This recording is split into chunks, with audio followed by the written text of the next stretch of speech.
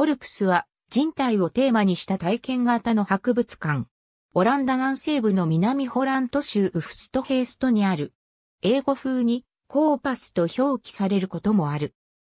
人体博物館コルプスはオランダの首都アムステルダム方面と同国第三の都市デンハーグとを結ぶ高速道路 A44 沿いにある。赤茶色の巨人像の左半分が椅子に腰をかけるように体を折り曲げた姿で高さ35メートルの建物に埋め込まれており、人目を引くデザインをしている。博物館は人体内を体験する旅をキャッチコピーとしており、巨大な臓器のレプリカや最新の技術を駆使したコディ効果、音響により人間の体内を実際に旅しているかのような感覚で人体の仕組みを学ぶことができる。旅は膝から始まり、子宮、消化器、肺、心臓に進み、頭部では口、鼻、耳を回り、最後は脳で終わる。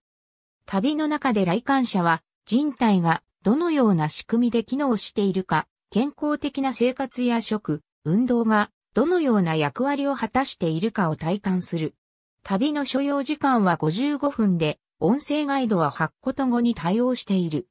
また、膨大な収蔵品の常設や展示の入れ替えが行われ、来館者が楽しみながら学ぶことができるように工夫されている。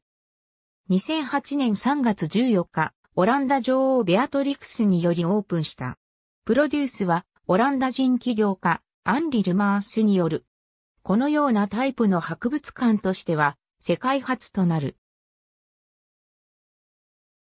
ありがとうございます。